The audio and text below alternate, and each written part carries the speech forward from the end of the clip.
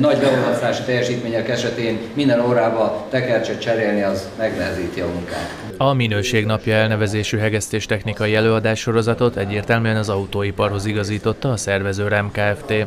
Hiszen az Audinak otthont adó Győrön kívül a Mercedes hazai fellegvárának számító Kecskemétre viszik még el az elsősorban hegesztő cégeknek megoldásokat kínáló szakmai bemutatót. Ezeknek kínálunk vagy az évhegesztéshez, vagy az ellenállás hegesztéshez olyan minőségbiztosítási megoldásokat, amivel hát javíthatják a, a minőséget, vagy megelőzhetik azt, hogy hibák legyenek, mert azt tudjuk, hogy nagyon sok pénzbe kerül, akár roncsolásos vizsgálatokkal, vagy roncsolásmentes vizsgálatokkal ellenőrizni azt, hogy jó-e a minőség. A szakember szerint az autóipari tömeggyártásban nagyon gyorsan lehet sok száz, sőt ezer darab alkatrészt elrontani, ami nem csak pénzbeli veszteséget jelent, hanem az adott beszállító cég renoméjának elvesztéséhez is vezethet.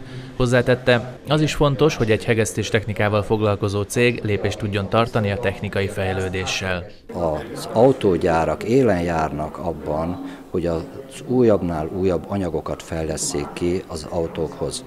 Ez egyrészt a szilárdság növelése a cél, hogy minél kevesebb anyagot kelljen felhasználni, minél vékonyabb lemezeket lehessen alkalmazni, tehát a költségeket szeretnék lejjebb szorítani. Másrészt olyan megoldásokat alkalmaznak, amivel a korrózió, tehát az átrosdásodás ellen védik a karosszéri elemeket. Az ezekkel kapcsolatos feladatokat korábban a szakiskolákban megoldhatatlannak tartották, ma már azonban olyan technológiai fejlesztések vannak a piacon, mint a lézerhegesztés vagy a plazmaforrasztás, amelyekkel óriási sebességgel lehet dolgozni. Disney.